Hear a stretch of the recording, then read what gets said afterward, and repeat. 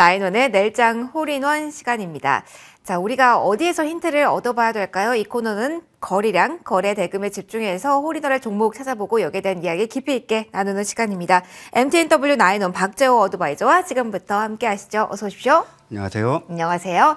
자, 먼저 저희 홀인원 공략주 제1장으로 거래대금에 포커스 맞춰보도록 하겠습니다.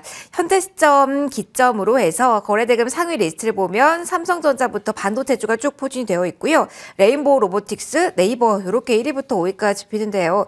위원님, 이 네. 안에서 거래대금 어느 쪽에서 종목에 관한 힌트 좀 찾아볼까요? 어, 일단 상승률로만 놓고 보게 된다면 의미 있는 시세가 정말 많습니다. 테마라든지 어떤 재료에 의해서 강한 시세를 보여준 종목군들이 있는데 그 중에서 제가 좀 레인보우 로보틱스에 대해서 좀 몇 가지 코멘트를 좀 드리도록 하겠습니다. 자, 일단 레인보우 로보틱스 같은 경우는 그동안 대략적으로 바닥권에서 150% 정도의 상승세를 보여주면서 전체 로봇 테마를 사실상 대장주로서 이끌어 왔습니다. 즉, 레인보우 로보틱스가 상승을 해야지 그와 관련된 여러 로봇, 어, 로봇주들이 어, 일단 동시에 어, 상승세를 같이 좀 이어가는 경우가 좀 많, 많았었는데, 음, 2월 3일자 기준으로 보호 예수 물량이 좀 풀립니다. 자, 지금 현재 레인보우 로보틱스의 상장 주식 수는 약 1,900만 주 정도가 됩니다. 자, 보호 예수가 풀린다라는 것은 즉 그동안 매도가 제한이 걸려 있었던 물량들이 이제 자율적으로 매도를 어느 가격에서건 할 수 있다는 이야기인데 즉 내일서부터 900만 주 정도의 어, 보호 예수 물량이 어, 시장에 출회될 가능성이 매우 높다라는 점을 좀 보시면 될 것이고 그 해당 물량은 지금 현재 상장되어 있는 즉 어, 지금 현재 1,900만 주 약 한 49.9% 정도의 자, 물량이라는 점을 좀 기억을 해두시고 어, 사실 그런 어떤 보호 예수 물량이 나온다고 풀린다라고 해서 반드시 주가가 하락하는 것만은 아닙니다. 다만 주가가 하락을 했을 시 지금까지 로봇 섹터 테마 자체를 끌고 왔던 대장주가 무너짐과 동시에 전반적인 어떤 섹터 약화의 가능성을 열어줄 수가 있기 때문에 이런 부분들에 대해서 우리가 미리 사전에 어, 대비 차원에서 좀 볼 수가 있다라고 좀 말씀을 드리겠고요. 어, 만약에 해당 가격을 이탈치 않는다, 즉 어, 7만 9천 원과 7만 7천 원 이 두 가지 이 두 가지 밴드 가격 내에서 이탈치 않는 모습을 보여주게 된다라면은 일단은 보유예수 물량이 나온 다 할지라도 충분히 다시 한번 반등을 줄 수 있겠으나 최종적으로 놓고 봤을 때 7만 7천 원 마저도 이탈하게 된다라면 일단 단기적인 추세는 무너졌고 일단 하락으로 전환될 가능성이 크다라고 보시면 되겠습니다. 그러면은 신규 생각하시는 분들도 단순히 무너졌다고 해서 잡는 게 아니라 기다리는 게 필요한 종목으로 좀 정리를 해드려야 될 것 같습니다. 네. 저희 다음 힌트는 거래량에 좀 찾아보도록 하죠. 거래량 터진 종목 중에 눈여겨볼 종목 이야기를 해볼 텐데요. SK증권부터 KH 그룹주들이 쭉 포진이 되어 있고요. 소니드까지 올라와 있습니다. KH 그룹주 같은 경우는 호텔 매각 이슈와 좀 연결이 된 것으로 보이는데요. 자 오늘 뭐 이슈화돼서 움직이는 종목들이 역시 거래가 실리네요. 어느 쪽 특징적으로 저희 이야기 나눠볼까요? 음, 사실 눈에 띄는 것은 소니드와 또 SK증권 이 두 가지긴 한데 그중에 SK증권을 좀 말씀을 드리도록 하겠습니다. 자, SK증권은 어제 급작스럽게 상승세를 보여줬습니다. 그 이유는 이제 앞서 증권형 토큰에 대한 여러 가지 제도적 장치를 정부 차원에서 2월 달에, 즉 이달에 발표를 할 것이라는 이야기가 나왔는데 2월 1일 되자마자 첫 번째 나왔던 기사가 뭐였냐면은 자, 일단 기존에 어, 가상화폐 거래소에 상장되어 있는 코인을 무조건 상폐시켜야 된다. 왜? 그 코인들은 앞으로 증권사에서 거래가 될 것이고 또는 예탁원을 통해서 제도적으로 보안, 어, 보호할 수 있는 그런 코인들만, 그런 토큰들만 일단은 거래할 수 있게 할 것이다라는 기사가 나왔습니다. 자, 나오자마자 SK증권 그리고 하나투자증권이 이제 강한 시세를 보여줬었고 그와 관련된 뉴스가 어, 시간의 거래 거의 마무리될 시점 오후 5시 30분 이후 6시 사이에 급작스럽게 뉴스 감각이 나왔습니다. 즉 사실 무근이다라는 이야기가 또 나왔습니다. 그래서 사실 저도 좀 갈팡질팡했습니다. 일단 호재로서 어찌 본다면 가상화폐 거래소에게는 악재지만 지금 현재 우리 시중 증권사에게 호재인 이 재료가 갑자기 사라져 버린 것입니다. 그런데 이런 부분들이 음, 달리 생각해 본다라면 사실상 제도적으로 보호해 줄 수 있는 즉 자산으로서 인정 가능한 증권형 토큰 자체가 앞으로는 사실 증권사 외에는 거래될 수가 없다라는 것은 이미 정해진 팩트입니다. 그렇지만 기존에 뭐 가상화폐 거래소에 상장되어 있는 것들이 상폐될지 안 될지는 지금으로서는 알 수 없지만 분명한 것은 증권사에게 추가 매출과 영업이익을 남겨줄 수 있다라는 부분 그 모멘텀 자체가 부각이 되다 보니까 오늘 그것들 외에도 뭐 다울 투자 증권이라든지 유한타 증권 역시 마찬가지 상승세를 보여줬는데 그것들 중에서 가장 대장주라고 할 수 있는 종목 SK증권을 좀 보실 필요가 있겠고 음, 시간 관계상 좀 디테일하게 설명드리기 좀 어렵겠으나 지금 현재 시점에서 오늘 음, 940원 정도 다음 주 월요일 다음 주 월요일까지 940원 정도를 이탈치 않는다라면 일단 증권형 토큰 그리고 증권사의 추가 매출 확대 가능성 이 모멘텀은 살아있다 유지가 되고 있다라고 보시면 되겠습니다. 그럼 위원님께서는 이 SK증권을 STO 이 테마 가운데 가장 대장주로 지금 보시는 거죠? 어, 일단 시세라는 게 그렇습니다. 사실 가장 인기 있는 증권사가 가장 큰 수혜를 있겠죠. 네. 그렇다면 당연히 키움증권이 될 것입니다. 하지만 왜 SK증권인가? 시가총액이 상대적으로 제일 적기 때문입니다. 자, 증권사 치고는 동사는 4,300억 원의 시가총액이 되질 않습니다. 자, 그러면 예를 들어 가지고 하나투자증권 네, 을 하나 투자증권도 비- 음, 볼게요. 비교를 좀 해본다면, 음, 잠시만요. 자, 하나 투자증권을 시가총액을 보게 된다면 7,900억입니다. 즉 두 번째로 어, 이제 낮은 수준인데 그 외에는 이제 조 단위로 넘어가게 되죠. 즉 어떤 테마가 만들어지거나 어떤 재료가 있을 때는 어쩔 수 없습니다. 첫 번째가 시가총액이 작은 종목이 그 다음에 두 번째가 상승률이 가장 빠른 종목이 일단 대장주입니다. 그것은 이제 불문율이기 때문에 어, 한 가지 더 추가적으로 말씀을 드린다면 이제 STO 말씀드렸으니까 짧게 말씀드릴게요. 자, NFT와 관련돼 가지고 지금 여러 종목군들이 움직였었죠. 갤럭시 SM이라든지 뭐 서울 옥션이라든지 즉 기존의 자산을 토큰화하거나 또는 NFT화 했던 경험이 있는 회사들이 어, 시장에서 반응을 했었는데 그것들의 시가총액이 급등하기 전에 500억, 400억, 700억 이 정도 수준밖에 되지 않았습니다.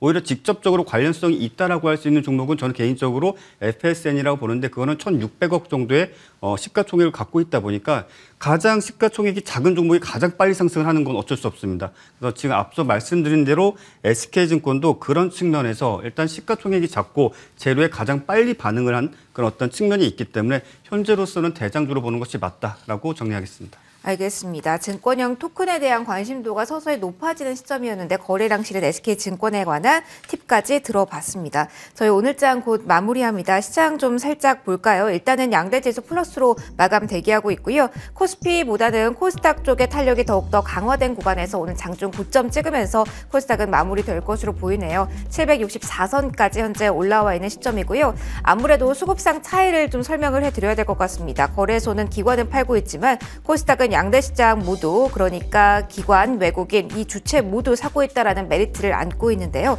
이 안에서 어떤 업종이 움직였을까요? 오늘은 어떤 업종에 빨간불에 주목해야 될까요? 잠시 후 마감되는 상황을 보고요. 더욱더 자세히 정리는 해드리도록 하겠습니다. 2월 2일 목요일장 지금 문을 닫습니다.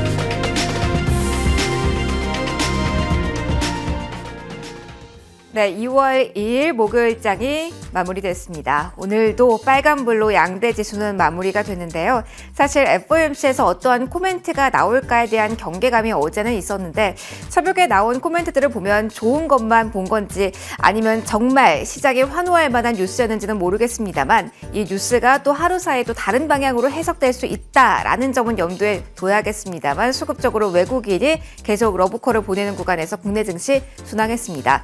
아시아 증시 좀 넓게 놓고 봤을 때 우리나라 주식 시장에 오늘 가장 빨간불이 강하게 들어왔다는 점 특징으로 들 수가 있겠는데 일단 환율부터 체크 받아보시죠. 오늘 원달러 환율이 크게 내렸습니다. 이 정도의 움직임이라면 환율 시장에서는 급락으로 표현을 하는데요. 11원 내렸습니다. 1220원은 그래도 지키면서 마무리가 되는데요. 달러 인덱스가 101선도 아니고 100선 부근에서 움직이고 있다라는 부분과 함께 이에 대한 추세가 너무 가파르면 경계감을 가져야 되니까요. 환율에 계속된 움직임도 주시를 해보셔야겠습니다. 오늘 어쨌든 1220원 선은 그래도 지지가 됩니다. 자, 오늘 지수 현황도 살펴보도록 하겠습니다. 양대 지수의 빨간불이 확인된 오늘이었습니다. 코스피보다는 코스닥의 탄력이 조금 더 강하게 나타났습니다. 2468선의 코스피는 마무리가 됐습니다. 고점과는 조금은 차이가 있죠. 코스닥은 반면에 고점을 찍는 구간에서 마무리가 됐습니다. 상승폭은 1.82%로 764선까지 성큼 올라섰습니다. 자, 오늘 코스피 시장도 빨간불이었는데요. 견인차 역할을 한 것은 오늘도 외국인이었습니다. 물론 선물 시장에서 현재 매도가 잡히고 있다는 점은 살펴보셔야겠지만 일단 이 현물 시장에서는 외국인이 사자세를 보였습니다. 다만 업종 골고루 외국인이 사자세를 보인 건 아니라 대부분의 이 물량을 전기전자 업종에만 집중했다라는 부분은 조금 보셔야겠는데요. 그래도 전체적으로 빨간불 매수 우위가 잡혔고요. 기관화 같은 경우는 좀 변동성이 있었습니다. 막판에 연기금 쪽에서의 매물 그리고 사모펀드 쪽에서의 매도 규모가 커졌다는 점에 다소 부담으로 작용했는데요. 기관 매도 우위 기록했습니다. 자, 코스피 시작에는 기관과 외국인의 포지션이 달랐지만 코스닥으로 넘어가 보실까요? 코스닥에서는 모두 같은 방향을 가리켰습니다. 규모도 그게 크게 좀 차이가 나진 않았고요. 외국인 쪽에 조금 더 많이 샀습니다. 2천억 원 가량의 매수 우위가 나타나면서 코스닥 시장에서는 계속해서 동반해서 사자세를 보이고 있다는 점이 특징으로 잡히고 있습니다. 자, 시장의 좀 큰 그림도 이어서 좀 체크를 해보도록 할게요. 머니맵 바로 켜보도록 할까요? 자, 오늘 시장에서 버팀목 역할을 해준 종목들이 상당히 많았습니다. 일단 삼성전자의 흐름부터 체크를 해보시죠. 감산한다, 안 한다, 이에 대한 시장의 해석은 아직까지 분분합니다만 삼성전자 2.75% 오름세를 기록했습니다. 오늘 언팩 행사가 있었습니다. 갤럭시 스마트폰, 새로운 이 신제품에 대해서 외신 쪽에서 호평이 쏟아지고 있는 현재 구간인데요. 뭔가 다른 트리거가 될 수 있을지는 반응을 좀 더 보셔야겠지만 신제품 모멘텀까지 오늘 안 왔다는 부분 체크해 보시고요. 동반에서 SK 하이닉스 역시 강한 흐름이었습니다. 머니맵에서 확인할 수 있는 IT주 가운데서는 오늘 삼성전자가 가장 강하게 움직였고 3%대 상승 흐름이었습니다. 내일 새벽입니다. 미국장 마감 후에 애플의 실적이 발표되는데요. 애플 실적과 민감하게 연동되는 종목이 있죠. LG 이노텍 역시 오늘 장에서는 2% 플러스로 마무리가 됐습니다. 장 후반으로 갈수록 오늘 변화가 있었던 시총 상위주 가운데 하나는 LG 에너지 솔루션 들 수가 있겠는데요. 고점 부근입니다. 2%대로 오늘 마무리가 되는 모습 체크가 되고요.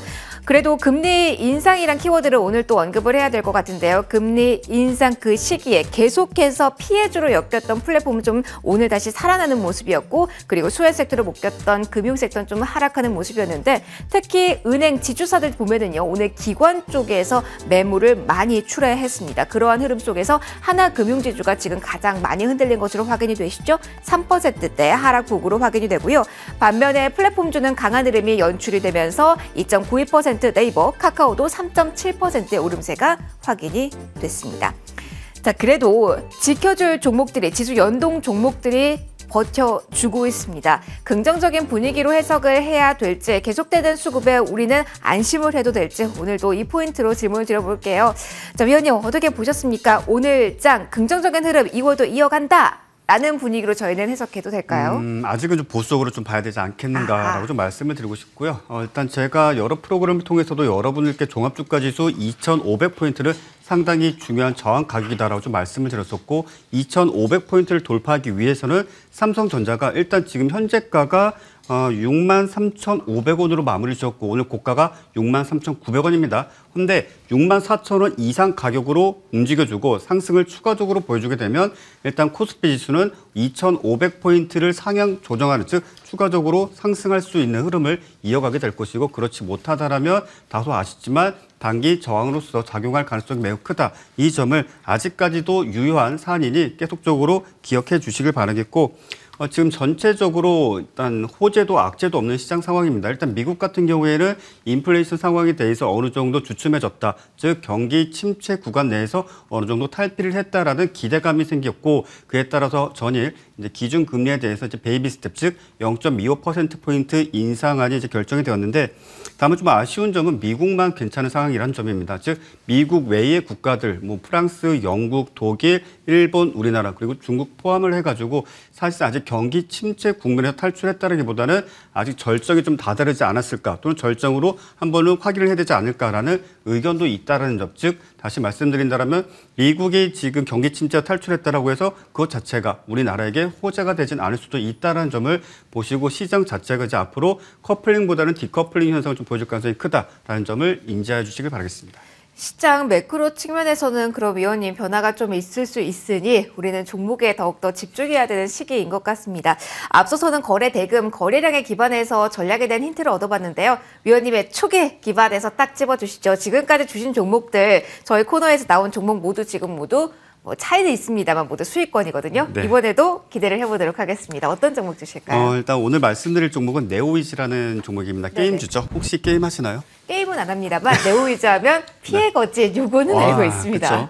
P의 거짓이 좀 작년 그리고 올해 어, 계속적으로 기대감을 한 몸에 모으고 있습니다. 어, 사실상 soulslike라는 장르의 게임인데 저는 사실 이 부분에서 잘 모르지만 어, 아마 매니아적인 좀 부분들에 있어서 상당히 크게 어, 좀 호평을 좀 받고 있는 듯 싶습니다. 대표적으로 가, 어, 유사한 게임 장르 중에 하나인 엘든링이라는 게임은 전 세계적으로 어, 수천억 원대의 매출액을 기록했었고 또 그 전작이 뭐 다른 어떤 GTA5 같은 어떤 open world 게임 같은 경우에는 조 단위까지 단일 타이틀로서 매출을 좀 올렸던 부분들이 아무래도 시장에 크게 어, 기대감을 좀 불러일으키는 것으로 보여지고 있습니다.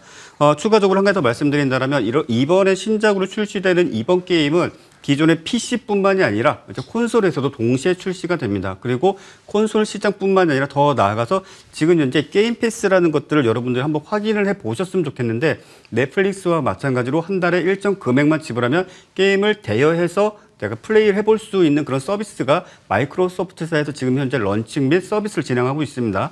그런데 여기서 또 한 가지 더 나간다면 넷플릭스처럼 영상을 스트리밍하듯이 gaming을 스트리밍을 할 수가 있습니다. 즉 내가 가지고 있는 하드웨어, 기기 자체가 어, 구형이라 할지라도 원격지에서 실행이 되고 플레이되는 것을 이곳에서 스트리밍된 화면으로 제가 게임을 할 수 있다는 것입니다. 이런 부분들이 전반적으로 좀 호평을 얻고 있고 기대감을 얻고 있고 그 게임 패스 내에 지금 현재 P의 거짓이 출시하자마자 바로 입점을 할 것으로 보여집니다. 어, 최근 인기작들이 실제 게임 패스에 딱 입점하자마자 상당히 큰 호평과 매출을 올리는 것으로 보았을 때 충분히 기대해 볼 수 있는 모멘텀이다라고 말씀드리겠습니다. 자, 바로 가격 전략 말씀드리겠습니다. 가격은 제 목표가는 5만 1천 원 잡아드리도록 하겠고요. 손절가는 3만 9천 원 제시해 드리도록 하겠습니다. 네, 게임주가 꿈틀꿈틀 거리고 있는 네오이즈 기대를 해보도록 하고요. 저희 단기간에 목표가 달성한 종목 빠르게 AS 받아보도록 하겠습니다.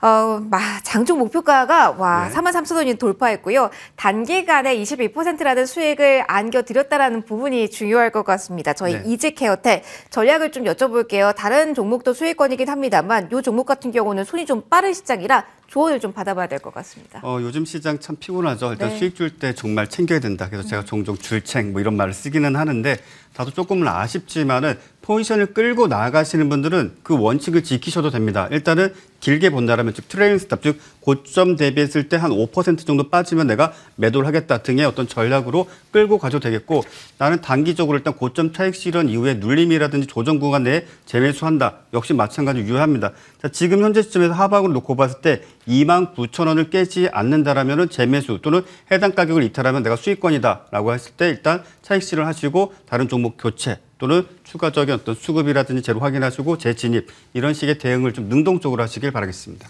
위원님의 이 유행어도 좀 기대를 해보겠습니다. 줄 때 챙기자, 네. 줄챙. 요 종목은 지금 챙기는 전략 그리고 향후 어떻게 대응해야 될지에 대한 팁까지 받아봤습니다. 여기서 오늘 시간 저희 마무리해야 될 것 같습니다. 마지막 코너 MTNW 나인원 박재호 어드바이저와 함께했고요. 내일도 긍정적인 흐름 기대해 보면서 여기서 마무리 짓도록 하겠습니다. 내일 마감도 저희와 함께해 주세요. 시청해 주셔서 고맙습니다.